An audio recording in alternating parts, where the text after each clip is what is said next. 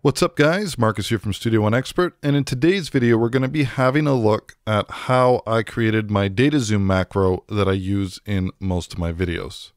So as most of you know that we have a data zoom in the very bottom right hand corner of our arrange window. We've got this little area, if we click we get this slider, and we can bring up our audio waveform data zoom so that we can see certain areas in more vertical resolution. Now, this doesn't affect the gain at all. It's just a means of being able to see things a little bit more clearly.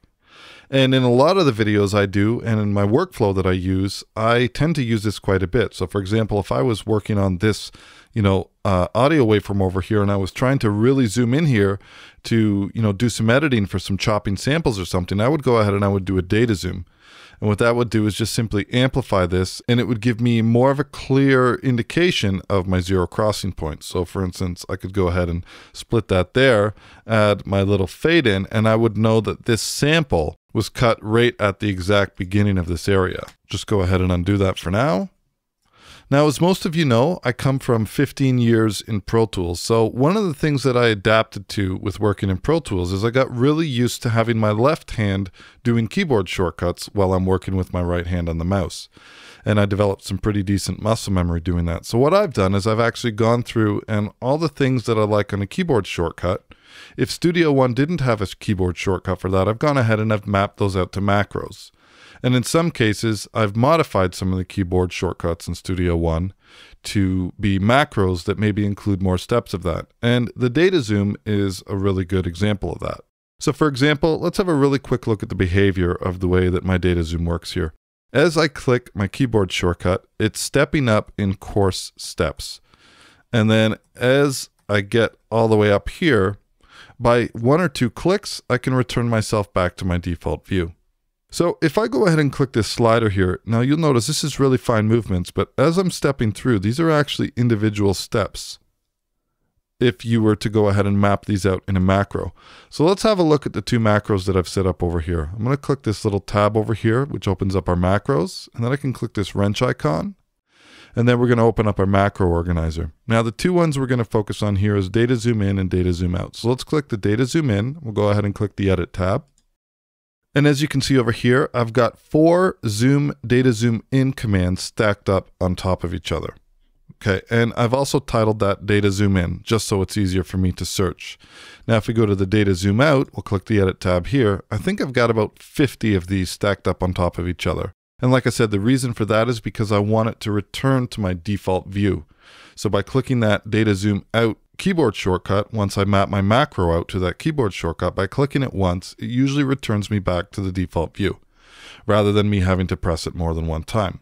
All right, so let's go ahead. I'm going to click cancel. Let's go ahead and how, see how we would, you know, create this macro from scratch. So it'd be pretty simple. Same steps here. Macro, we're going to click this wrench icon, open up the macro organizer. We're going to click the new tab. And then I would need to search for this function. So when you're searching for functions, it helps if you know at least a keyword or the category that it's in. So for instance, I know that zoom is in that command that I want to use, so we'll go ahead and click zoom.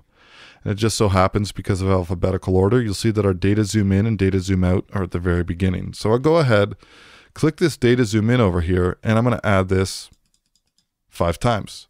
And then I could come in here, and then I could say data zoom in macro. And then after we're done that, you can give it a description if you want. I would just have to go ahead and press OK. And then, of course, I would do the same thing for data zoom out. And in the data zoom out case, we'd go ahead and we'd search for our zoom again. And I'd grab my data zoom out and I'd want to add this as many times as I wanted to. So, for example, I like to do, you know, even increments of 10, 15, 20, 25, 25 or 50, something like that. And then we go ahead and we do the exact same thing here we'd go ahead and we would title this one to something that we could recognize. And when that's done, we'd go ahead and we'd press OK. All right, so I've already done these two, so I've just canceled out. Now the next step is we need to come to our preferences, wherever you find your keyboard shortcuts. And then I'm going to do a search for the macro title that we created. So for instance, I know data was in that title. You can see that it's pulled up the macros here and I've got two different options, data zoom in and data zoom out. Now I've already gone ahead and programmed these to some keyboard shortcuts. So my thought process for these is the plus and minus. So you can see that it's come up here And we have the first one for the zoom out. I've used the minus, and this is right under the F10 and F11 key. And then for the data zoom in, I've used what my mind visually sees as the plus, which is also obviously the equals. And I've gone ahead and I've used the plus and the minus for my data zoom out and my data zoom in. And to do that is very simple. All we have to do is select the option over here that we're looking for, and we tab in here, we enter the key, we assign, apply, we press OK. So after that, we essentially have our macro that we've programmed, and then we've assigned that macro, those string of commands, to run off one keyboard shortcut. So go ahead and close my macro over here, and you can go ahead now and see that just like we had before, I'm able to quickly do my data zoom macro.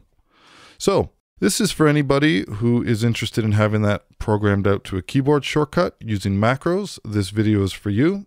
Anyways, I hope you guys got something from this, and we'll talk to you later. Cheers.